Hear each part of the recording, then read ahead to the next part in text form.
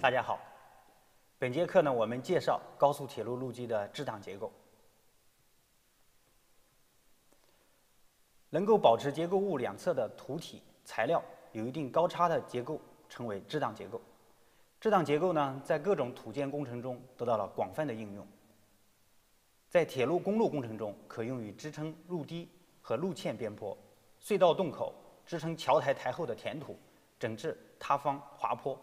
在水利、港湾工程中，可用于支挡河岸及水闸的岸墙；在建筑工程中，地下连续墙等维护结构、支撑边坡的挡护结构，都属于支挡结构的范畴。我们主要介绍路基工程常用的挡土墙结构，以重力式挡土墙为例，来介绍挡土墙的一般构造和设计简算，并介绍。高速铁路路基工程中常用的一些轻型挡土结构。挡土墙呢，是支撑路基填土或山坡土体，防止填土或土体变形失稳而承受侧向土压力的建筑物。当土坡稳定性不足，需要加固，或者由于工程需要和地形限制，必须收束坡脚，或者。需要减少挖方数量时，我们常常会采用挡土墙。比如，对于高填方路基，由于放坡后坡脚超出用地界限，可采用挡土墙进行收坡。在横向坡度较大的斜坡地段，由于路基放坡后坡脚可能无法与沿地面相交，需采用挡土墙进行处理。路堑挖方地段设置挡土墙呢，可以减少断面挖方的数量。挡土墙呢，按不同分类的方式分成了不同的类型。比如我们按结构形式有重力式挡土墙，当然这里边也包括横重式的挡墙，还有轻型挡土墙。根据结构组成的不同，轻型挡土墙又有不同的类型，如锚杆挡土墙。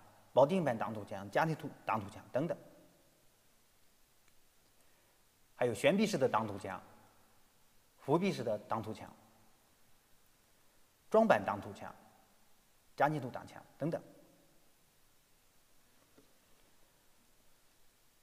按照挡土墙墙背倾斜方向分类，可分为仰斜式、俯斜式和垂直墙背挡土墙。按照挡土墙在路基横断面上的位置呢进行分类，可以分为路肩式挡土墙、路堤式的挡土墙和路堑挡土墙。接下来，我们以重力式挡土墙为例，介绍挡土墙的一般构造。重力式挡土墙呢，是以墙身自重来维持其在土压力作用下的稳定，多用降气片石来进行砌筑，在缺乏石料的地区。有时可用混凝土预制块制作为砌体，也可直接用混凝土进行浇筑。一般不配钢筋，或只在局部范围内配置少量的钢筋。重力式挡土墙形式简单，施工方便，可就地取材，适应性强，因此呢，应用广泛。重力式挡土墙墙身截面大，蜈蚣数量也大，在软弱地基上会受到呢承载力的限制，墙体过高时耗材较多。不经济。挡土墙墙胸一般为直线型，墙背有仰斜、俯斜和垂直的直线型和凸形的这种折线型及横重式等等。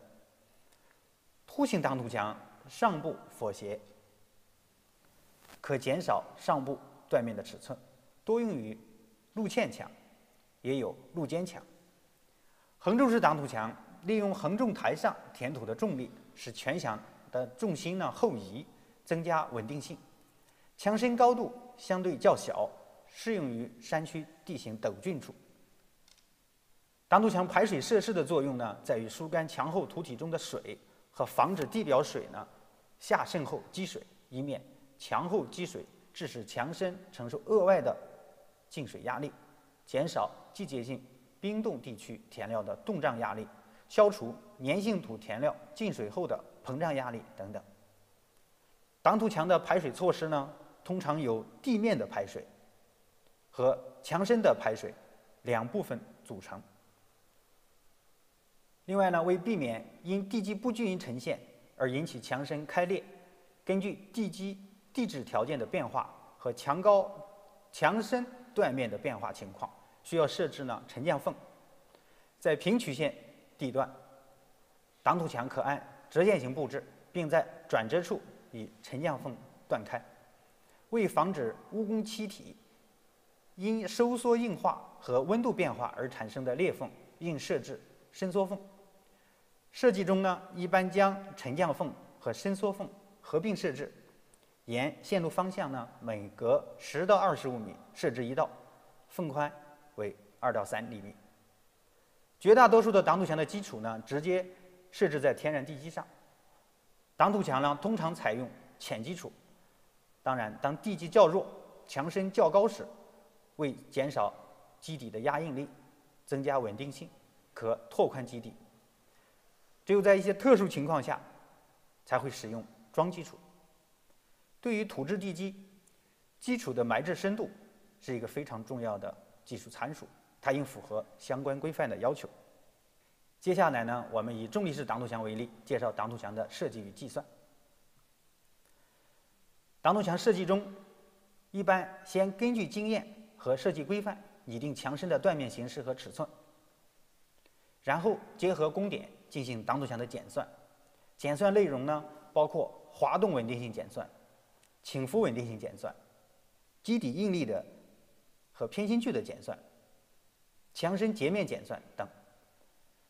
如检算不合格或者过于安全，则需要修改尺寸后重新检算，直至挡土墙既安全又经济为止。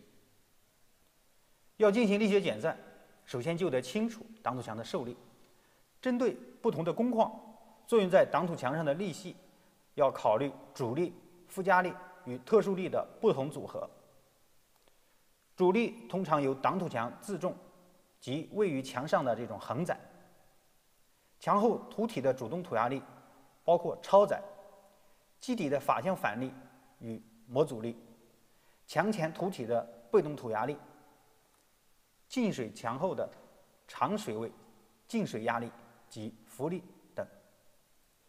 附加力呢，是指季节性或规律性作用于墙的各种力，如水位退落时的动水压力、波浪的压力、动胀力和冰冻力等。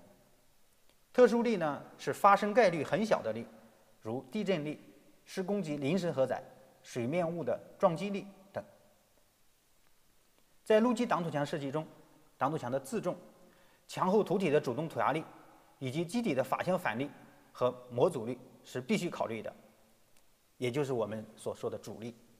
下面呢，我们就考虑在这几个力的作用下，如何进行挡土墙的减算。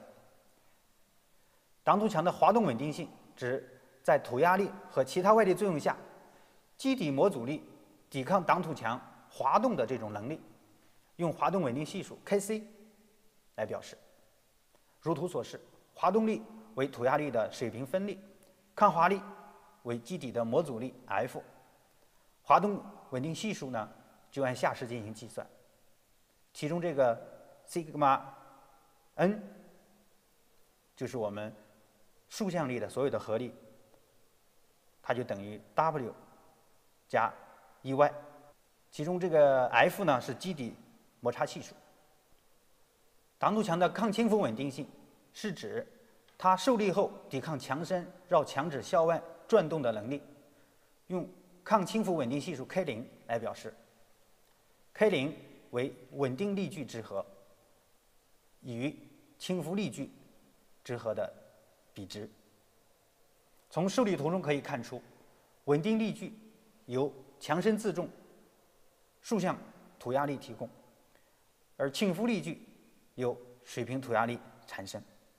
对于上述的两个稳定性系数，比如 Kc、K 零，在规范中都有它这个检算的这个规定值。如果呢它不满足规范的要求，我们就要去去对墙身呢重新进行设计。比如说我们的抗滑稳定性不足，可能它就会再设置倾斜的基底；如果抗倾覆稳定性不足，可能还会再设置台阶基础等等。这个我们可以参照相关的规范。再一个，就挡土墙呢，需要进行基底应力与偏心距检算。这个检算的目的呢，是为了使基底应力不能超过地基容许承载力，同时为避免挡土墙不发生显著的不均匀沉降，使墙形合理。当然，还应控制墙底的基底的这种合理偏心距。基底合理偏心距 E 可按下式计算。其中呢，b 为基底的宽度，Zn 为作用于基底合力的法向分力对墙纸的力臂。当偏心距小于六分之一倍的基底宽度时，可按如下公式算得基底的最大应力与最小应力。当偏心距大于六分之一倍的基底宽度时，基底一侧将出现拉应力。考虑到一般情况下地基与基础间不能承受拉力，故不计算拉力，而按这个应力重分布进行计算，基底的最大压应力，按这个下式进行计算。挡土墙墙身截面强度检算，通常呢选一到两个截面进行。检算截面呢，可选在基础顶面或者金边以上截面，二分之一墙高处，上下墙交界处，比如说凸形及横纵式墙的这个上下墙的交界处，墙身。截面强度的检算包括法向应力和剪应力检算两大方面。呃，重力式挡墙呢，它使用是非常广泛的，但是在软弱地基上会受承载力的限制，缺乏无工材料的地区，重力式挡墙的造价呢也会很高。这时呢，我们可采用一些适用的轻型挡土墙来替代重力式挡土墙。轻型挡土墙呢，只采用抗拉强度较高的。钢筋混凝土或钢材等材料构件组成的挡土建筑物，由于结构本身的重量较轻，所以我们把它通称为呢轻型挡土墙。轻型挡土墙呢是一种柔性复合结构，除了结构及施工工艺较重力式挡土墙复杂外，变形与受力状态也很复杂。由于墙面系与其后的填料间相对变形较小，墙面系后的部分土体。不会产生极限平衡状态，因而墙面系上承受的土压力往往呢大于主动土压力。墙面系的绝对的变形有时也较大，容易产生构件的开裂或者异常的变形。呃，我们在这里呢仅介绍相关轻型挡土墙的构造形式和基本原理，不涉及呢设计计算。好，首先我们来看一下轻型挡土墙里边的呃最常用的一种形式，叫做夹筋土挡土墙。它是利用呢夹金土技术修建的一种轻型支挡结构物，是由墙面板、拉筋、填料三部分组成的一种复合结构物。它依靠填料与拉筋之间的相互作用，主要是这种摩擦力，来平衡填料作用于墙面上的水平土压力，从而呢使之形成整体，抵抗其后填料产生的土压力。这个时候呢，也我们也可以把坚固的挡墙呢视为一个重力式的挡墙来考虑它和夹金土墙背后的所产生的土压力，它们之间的这种稳定性问题，这也可以称为呢夹金土挡墙的这个外部稳定。墙面板的作用呢是阻挡填土挤出坍滑，使拉筋填料面板成为一个整体，形状呢通常有矩形、十字形、六边形等等。材料一般采用钢筋混凝土，当然也有用金属材料的。拉筋材料要求有足够的抗拉强度、较好的韧性，与填土之间呢较大的摩擦力，便于加工制作，并且造价要低，与面板连接牢固可靠，且有较好的耐腐蚀性能。材料可采用钢塑复合带或者各种金属。填料一般要求采用渗水土，若条件困难，采用粘性土池，需配以相应的工程措施。锚定板挡土墙是由墙面系拉杆锚定板以及冲填墙面与锚定板之间的填土所共同组成的这么一个整体。在这个整体结构的内部，存在着作用于墙面上的土压力、拉杆的拉力、锚定板的抗拔力等相互作用的内力。这些内力必须互相平衡，才能保证结构内部的稳定。同时，在锚定板挡土墙的周边地界上，还存在着从边界外部传来的土压力、活载以及结构自重所产生的作用力和摩擦力。这些外力也必须互相平衡，以保证锚定板挡土墙的整体稳定性，防止发生滑动或者蠕动。楔合板式挡土墙呢，是折线型重力式挡土墙的墙背在适当高度处安装一定长度的水平钢筋混凝土板。这个板呢，将墙后的填料分为上下两部分，上部分的填料可作为墙身的重量，而下部分由于该板的隔开，下墙土压力大大减少，故称该板为楔合板。这种结构形式介于重力式。挡土墙和轻型挡土墙之间，兼具刚性墙和柔性墙两者的特点。楔合板长度影响楔合板挡土墙的受力状态。楔合板越短，下墙土连越大，板上垂直压力越小；楔合板越长呢，下墙土压力就越小，板上的垂直压力也越大。长楔合板挡土墙具有较大的负偏心，使墙种应力增大。当基底承载力较低时，需加宽挡墙基础。楔合板挡土墙可通过调整楔合板的长度，使墙基地基应力分布更加均匀。因此，目前倾向于使用短楔合板挡土墙，较少采用长楔合板挡土墙。下面我们来看一下这个叫锚杆挡土墙。锚杆挡土墙呢，它是利用锚杆技术。形成的一种挡土结构物，锚杆的一端与工程结构物连接，另一端锚固在稳定的地层中，依靠锚固在稳定地层内的锚杆的抗拔力来平衡墙面处的土压力，维持结构物的稳定。但是这个结构物它的关键之处呢，就在于锚杆的抗拔力。薄壁式挡土墙，它是钢筋混凝土结构。包括悬臂式和浮壁式等形式。该种墙型的稳定性呢，依靠墙身自重和总板上的填土重量来保证。